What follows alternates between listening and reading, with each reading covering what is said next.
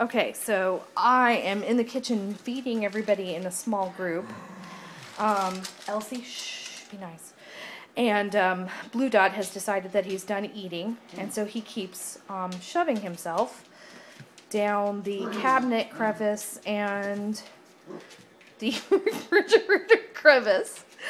Um, and he keeps pulling out that dust bunny that you see there. Right there, yes, and showing everybody, oh, thank you for blocking that off, Elsie. And showing everybody how incredibly dirty my kitchen cabinet is. I mean, underneath my refrigerator is. So, this is everybody.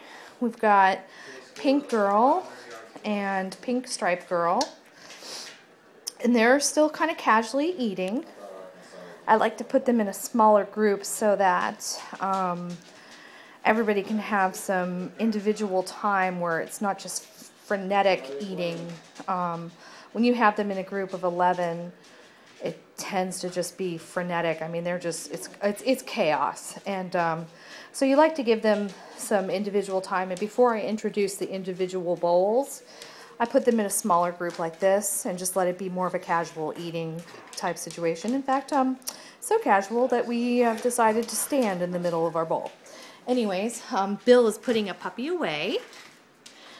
And here is, I believe this is Blue Boy, wrestling with one of his sisters, Green Girl. You gonna put them away, baby? Yeah.